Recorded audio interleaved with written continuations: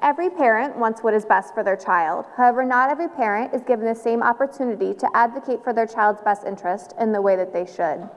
Providence, Rhode Island identified this need and with funding from Bloomberg, Bloomberg Philanthropies has developed innovative programming which aims to close the gap that so many of our young children face.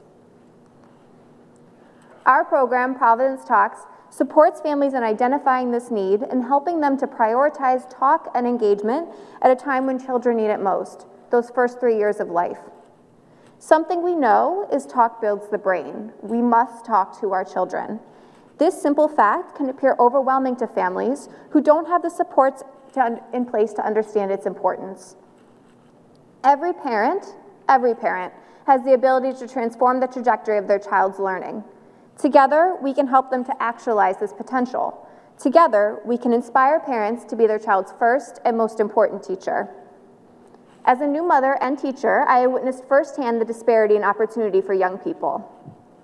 As a home visitor, I have worked with families who question the importance of their language. They, they question whether their experiences are even worth discussion.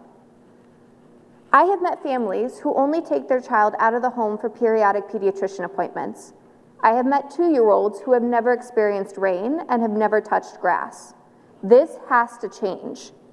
Every experience, no matter the monetary value of its impact, is worth our recognition. And I'll tell you what, it's worth our language. Here's a picture of my son Milo.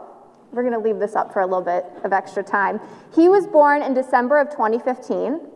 I am a mother, a new mother, with all of the supports necessary within immediate access. I have the experience and the knowledge um, and family within very close distance of where I live. And even with these supports, I felt incredibly alone and questioned my ability to parent. Imagine how others, without these fortunate circumstances, feel in those first few months of parenting. This is where Providence Talks comes in Providence Talks recognizes parents as their child's first and most important teacher. Through practice and research, we understand the importance of enhancing engagement within a child's life and within their home and the impact this will inevitably have on the child's future. For most families, our program will be the first introduction they have into the education system. As a mother and as a teacher, I take this responsibility very seriously. Our children are the first and most important step to closing the sequence of gaps that trouble our nation. We must prioritize our children and we must support our families. In Providence, Rhode Island, we identified a problem. Over two thirds of our children enter kindergarten behind on literacy state tests. A key cause of disparity between low income children and their higher income peers is the language environment of the household they grow up in. Research shows that Low-income children have heard 30 million fewer words than their higher-income peers by the time they enter kindergarten. Researchers Hart and Risley term this disparity the word gap. I call it deplorable. Through our innovative programming, Providence Talks aims to close that word gap and the resulting achievement gap to support families in developing the language environment of, in their home to, develop, to improve the development of their children. Providence has defined the word gap as the first and most important gap in a series of gaps to damage the nation.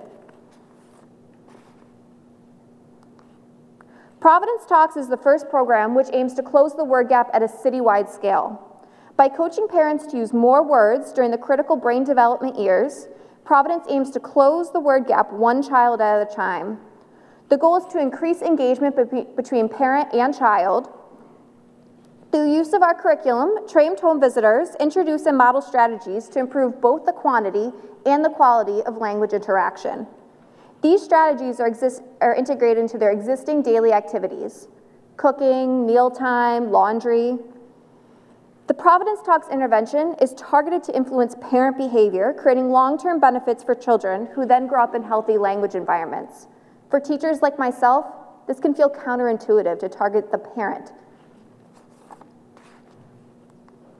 Researchers estimate that a child should hear between 19,000 and 21,000 words in a day.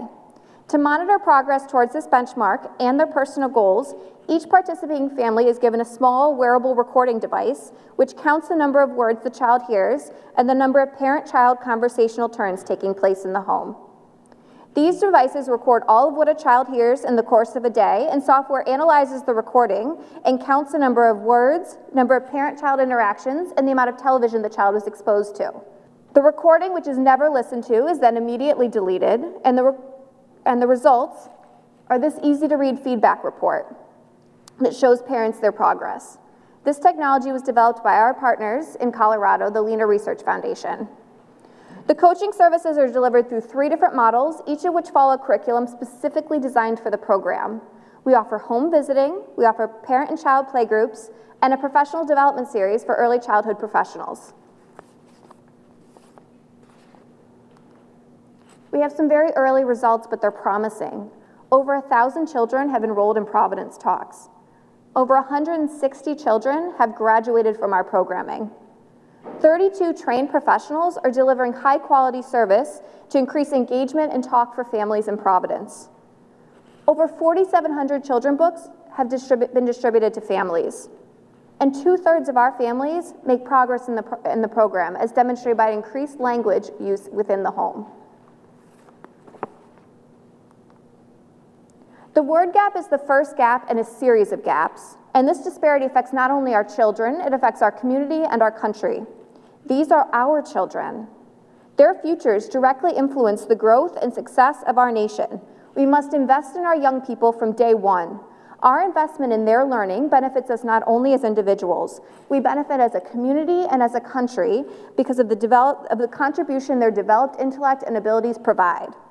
We are not able to realize our potential as a nation until we prioritize the development of our children. There is an inherent injustice in denying all children the same opportunity to succeed, the same opportunity I have been able to provide for my son Milo. I believe in every child's ability to thrive. I believe in their ability to succeed. Please join Providence and my son Milo as we join Providence in this fight to close the 30 million word gap.